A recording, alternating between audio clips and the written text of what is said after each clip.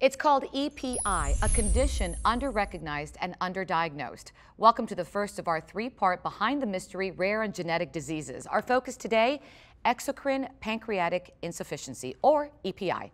Today we're talking with Dr. Bob Etemad, a gastroenterologist from Lankenau Medical Center based in Wynnewood, Pennsylvania. And later on, we're going to be joined by a woman who's been dealing with EPI. She's going to share her very special story. So first we join the doctor. Good morning, sir. Good morning. Thank you so much for here. being here. Thank you very much. You know, this is something very rare. I've heard of it. I'm not very much aware of it. So tell me exactly what EPI is. Yeah, so the pancreas is an organ that produces proteins that help you digest your food. When the pancreas doesn't produce enough of those proteins, you have exocrine pancreatic insufficiency or EPI. And then what when, when you just talked about what causes it, when you do get that EPI, what are you feeling? What are the symptoms? Yes, so most often it's diarrhea. Okay. It's going to be some weight loss that's not explained. And those are primarily, some abdominal pain can come as well. So it's really not something that you don't feel because sometimes the symptoms can be minor. You're really noticing that something is wrong. You can have subtle symptoms, uh, and that is where a doctor often is going to help make the diagnosis. But when it's when it's bad, you're going to have pretty obvious symptoms. Yes. And if you have obvious symptoms, doctor, why is this so often, let's say, overlooked or underdiagnosed? Because it is rare. It is because the symptoms mimic a lot of other things. For example, weight loss, people might think their weight loss is related to maybe a change in their diet or it may be related to a change in their activity. Some people have changes in their bowel movements and they think, well, I'm, I'm having a little trouble here and it goes away and comes back again. So the symptoms are not specific. And when it comes to the numbers, and I'm not sure you have the data on this, but is it one out of 10 people? How, how common is this? That's a great question. So right now, we think that it's probably somewhere around 23 per 100,000 people have obvious chronic pancreatitis, which is a problem where the pancreas is sort of scarred down. But the actual numbers of who has EPI is really an unknown because we don't really test that many people regularly for EPI. But before I toss to break, and I always like to end on a high note, there is some hope out there for patients that are suffering from this, right? There's hope both for diagnosis and for treatment, yes. Excellent. So stay right there, doctor, because we're going to talk about that hope. We're also going to talk to a very special woman who has been suffering from EPI. She's a patient who's going to share her story, so don't go away. There's much more to come. Stay right there.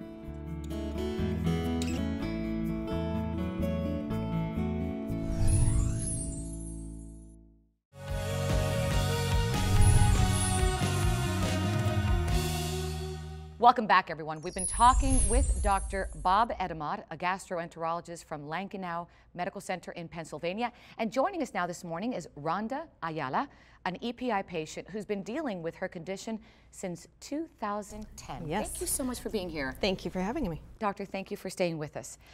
Rhonda, tell me exactly what was going on that you knew something was wrong. You were obviously having symptoms. Yeah, I was. I was having, you know, terrible cramps and um, I was having diarrhea Uh-huh. and a little out there, but you know, I was looking in the, the potty after and there's oil in there and I just knew something was wrong. Yeah, it just wasn't right. And let me tell you, I mean, I, my dad has always told me everybody should be Yeah. looking in the toilet after they go to the Yeah. bathroom. But not only just what you saw, but I mean, what you were feeling was just Oh yeah, it was horrible. It was re- really bad cramps. And really bad, like like out of the ordinary. Not normal. Not normal. Not normal. So, when were you finally diagnosed with EPI? Well, you know, I, I went to the doctor and told him what was going on and everything. And, um, you know, a lot of doctors don't know. So it's hard to, to get to the right doc who can recognize what it is because it's so rare. So, you had to go to several So I went to a GI doctor and, and was telling him what was going on, and he recognized, you know, the symptoms. Doctor, are there some people who are at higher risk than others? There are uh, people that have obvious, if they've had a resection of their pancreas or surgery of their pancreas, there's that group. There are some people whose families have known pancreas problems, patients that have cystic fibrosis, either themselves or even in the family, they might have a risk.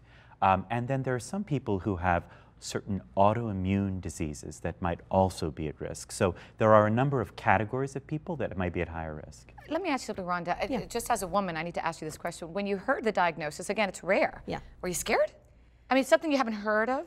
Well, yeah, and nobody wants to hear anything's wrong with your pancreas, you know, so that's like an important organ to have, I think. you know. Absolutely. So, um, yeah, I was concerned. I was concerned, and, and more important, okay, what are we going to do with this now?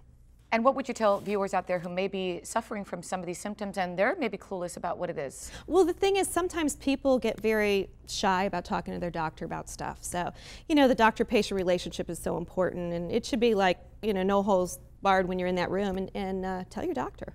And no doubt about it, doctor, and I've heard this from a lot of patients in the past that even when one doctor maybe can't diagnose what you have, normally the patient really knows there's something wrong. They really do. Follow your gut. Mm -hmm. I think the point being made here is that you really, one, the doctor has that responsibility to certainly hear out the patient, but the patient really has the, should not be afraid to talk about some of these things that might be a little bit less commonly talked about, right, even right, among doctors. Right. So I think that your point is very well taken, and I yeah. think it should well, be. Well, society's made this, you know, thing about talking about that, you know, but, you know, you're in there for help. That's what I needed help. So. And that's great advice because you always have to have that line of communication open between the doctor and patient, yeah. and especially when it comes to your health and your right. life. And if you're not comfortable with that doctor, go find somebody else. And get a know? second opinion, and yeah. even a third and fourth. I always yeah, tell people. Absolutely. Doctor, any last bits of advice you would give somebody out there?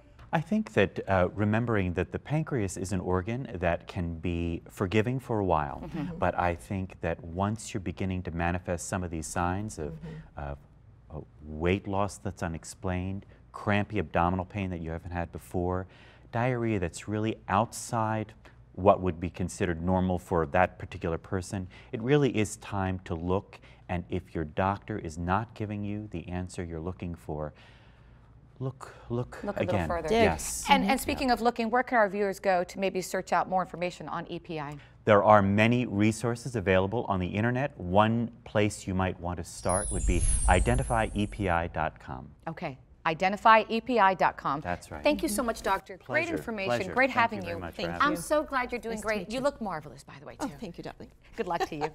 and this has been our first in a series on EPI. Be sure to join us again for more Behind the Mystery Rare and Genetic Diseases as we continue to examine this important topic. In the meantime, visit us at thebalancingact.com to find out more or share with us anything EPI or related conditions at Facebook forward slash The Balancing Act. Thanks.